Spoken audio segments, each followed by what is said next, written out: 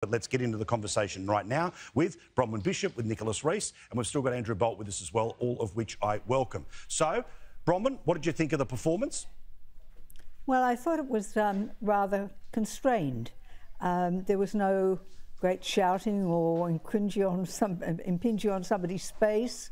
Um, I think, as everybody has said, the one big stumble for um, the leader of the opposition was on the boats question. And you know, it is quite clear that um, Operation Sovereign Borders has three parts to it. And uh, every time Mr Albanese says that, that uh, they're exactly the same, but, but we're not going to have temporary uh, protection visas, he is denying that statement. But the, the Prime Minister putting to him that you've changed your tune, you tried to say you had boat turnarounds when you were Deputy Prime Minister and he didn't, um, shows once again he's a bit loose with the truth. And we, we are starting to see that right through uh, the, the campaign.